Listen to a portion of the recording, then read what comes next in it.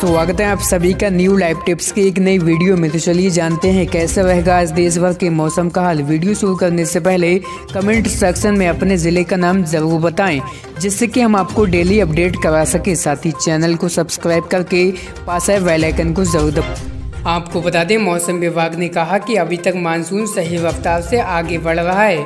उसी वहाँ पे किसी भी प्रकार की बाधा नहीं है। मौसम विभाग ने साथ ही इस साल अच्छी बारिश होने के संकेत दिए हैं। आईएमडी ने कहा कि आने वाले कुछ दिनों में दिल्ली में पी मानसून गतिविधि शुरू हो जाएगी, जिससे लोगों को गर्मी से राहत मिली रहेगी। मौसम विभाग ने कहा, बिहार झारखंड में हल्के से माध्यम की बारिश की संभावना जताई है। देश के अन्य राज्यों में भी मानसून धीमे धीमे दस्तक दे सकता है। हरियाणा पंजाब हिमाचल प्रदेश गुजरात और आसपास के राज्यों में पहुँच सकता है। आसपास छत्तीसगढ़ झारखंड बिहार में भी मानसून के पहुँचने की उम्मीद है।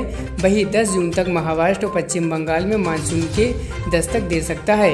मौसम विभाग ने उत्तर बिहार में अगले चार दिनों तक तेज आंधी और पानी की आशंका जताई है।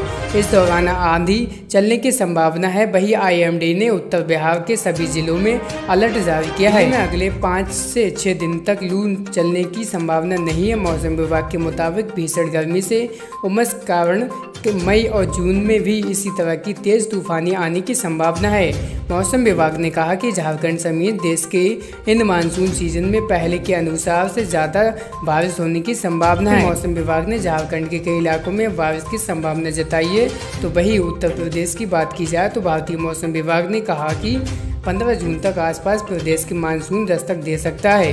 वही मध्य प्रदेश में भी मानसून गतिविधि थम गई है, जिस कारण तापमान में बढ़ोतरी हुई है।